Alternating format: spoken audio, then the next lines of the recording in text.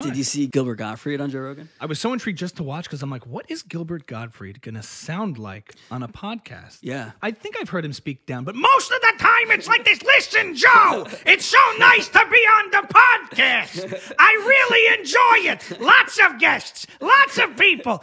Okay, Jafar, listen. You know what I don't understand? So, Joe. But it wasn't quite like that. I wonder if I just blew up the microphone. Okay, it's um, great. Okay.